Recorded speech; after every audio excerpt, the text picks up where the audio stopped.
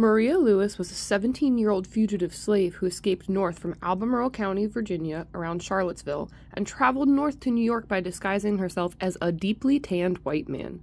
But she didn't just stop at escaping. She joined the 8th New York Cavalry under the alias of George Harris and served still disguised as a white man.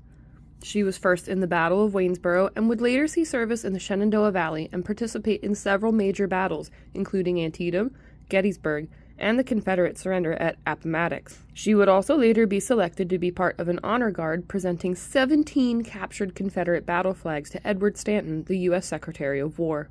After the war, she settled in New York with the family of one of her officers, returning to the attire of hoop skirts and petticoats, but still celebrating her veteran status with her comrades. Julia Wilbur, sister of Lieutenant Lewis Griffin, wrote in her journal she knows Mr. Griffin. She wore a uniform, rode a horse, and carried a sword and carbine just like a man. The officers protected her, and she was with them mostly. The regiment didn't know she was a woman. She was called George Harris, but her real name is Maria Lewis. She's from Albemarle County, Virginia, and escaped to the Union Army.